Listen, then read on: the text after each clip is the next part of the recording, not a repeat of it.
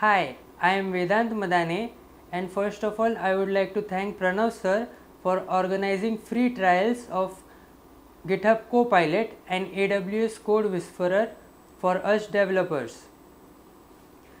During these two months of using these tools, we came to know a lot about our own behavior when coding and how AI assistants help us through navigating the debugging process.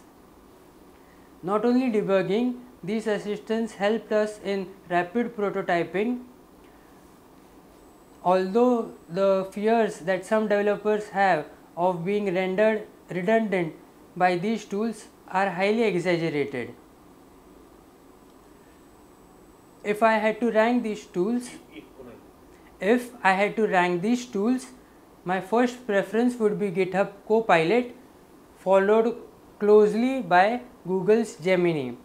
I like Gemini because it lets me provide image inputs. So if I like some particular website, I can take its screenshot and provide it to Gemini and ask it to give me its HTML and CSS.